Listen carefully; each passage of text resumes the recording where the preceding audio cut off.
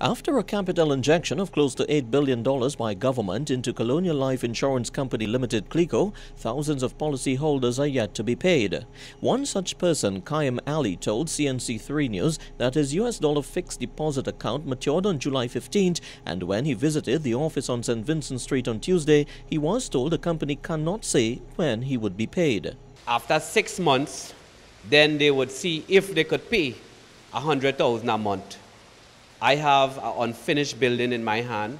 I owes the bank. I has no income coming in. My tenants is complaining to me every day that it's getting wet. The yard is unfinished and things like that.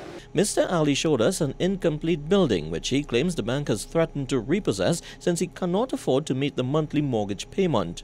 Holding up the CLICO policy, Mr. Ali says he felt he has been deceived by CLICO officials in opening the U.S. account. All those big boys in CLICO still getting our salary. They're still sit down in office, still drawing money.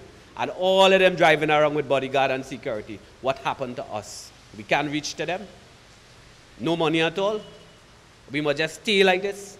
The disgruntled policyholder claims he was told to return next Tuesday but remains unsure of what the outcome would be. He's now calling on the finance minister to assist. I know asking if the Minister of Finance, like Mr. Dookeran, could understand what these people is doing with poor people, innocent people money that, you know, I plan my business, that when this policy up, I could finish the building, and I don't know what it is happening. It was only on Wednesday that Finance Minister Winston Dookeran told the American Chamber that CLICO's problems stem from bad corporate governance and lapses in the regulatory laws. For CNC3, I'm Roshan Sukram.